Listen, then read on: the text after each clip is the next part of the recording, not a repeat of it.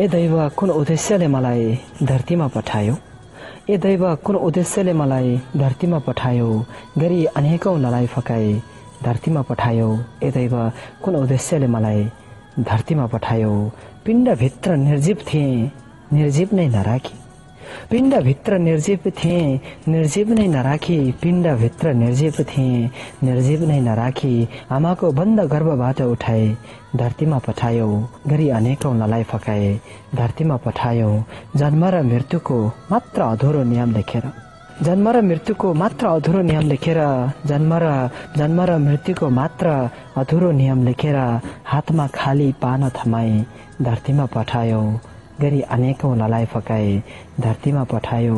सबैको एउटै मन मस्तिष्क बनाएनौ किन? सबैको एउटै मन मस्तिष्क बनाएनौ किन? सबैको एउटै मन मस्तिष्क बनाएनौ किन? निकै बेग्ला बेग्लै दाजुभाइ धरतीमा पठायो। गरी अनेकौँ ललाइ फकाए धरतीमा पठायो। अन्तिम शेर छ। हामीलाई मान्छे बनाई उठाएपछि धरतीमा हामीलाई मान्छे बनाई उठाएपछि धरतीमा सैताने रूप हाम्रो अगुवाई धरतीमा पठायो गरी अनेकौँ ललाइ फकाए धरतीमा पठायो। ए दैव कुन उद्देश्यले मलाई धरतीमा पठायो? सैताने रूप हाम्रो अगुवाई धरतीमा पठायो।